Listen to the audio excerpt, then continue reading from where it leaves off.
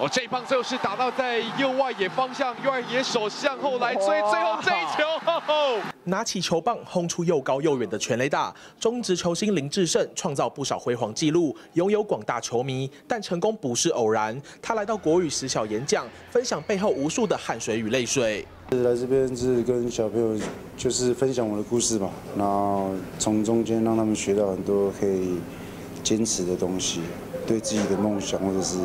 自己想要做的话，就是努力去做，不要有后顾之忧，因为有家人还有老师都会支持你。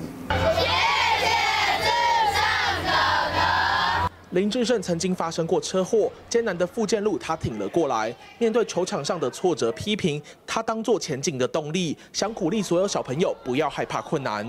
就会想要哭，然后就看完那个二师兄他奋斗那么久，但是他。他最后还是都是选择，就是重新再那个站起来。我从他身上学到还蛮多的，就是你只要有你的目标，你去努力的话，你就会成功。透过球星故事的分享，孩子们有了借鉴，有了目标，努力不懈、坚持到底的运动家精神，不只存在比赛中，生活里也同样受用。大爱新闻黄一杰、简元吉台北报道。